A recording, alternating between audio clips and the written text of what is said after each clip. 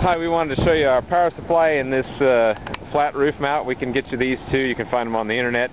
They're real handy. They're not expensive. I salvaged this one from somewhere else, but uh, I clamped it down. This this uh, platform used to have a big uh, heat exchanger, and it's grounded extremely well. We're actually getting uh, full swing, like uh, 18 or no, about a 15 volt swing on the power output, that shows us that we have an excellent grounding system. And we're about 30 feet off of the actual ground. Uh, this air conditioner you see right here is where I have our uh, 12 volt line tapped to. Uh, Lowe's happened to have this conduit on sale for 5 cents a foot, so I couldn't pass it up.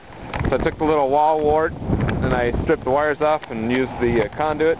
Then I uh, weatherproofed this connection right here. And if we could jump down here in the ice, uh, you can see my ground. I've got to come back and sand this thing up. Uh, I don't like to see that rust it that quickly. I have a spray that'll uh, contain that, keep the uh, air off. So we got a good, solid ground. And then, of course, there's the Rangemaster transmitter. Yeah, this is number two. Liberty 1640 AM, Sioux Falls, Omaha.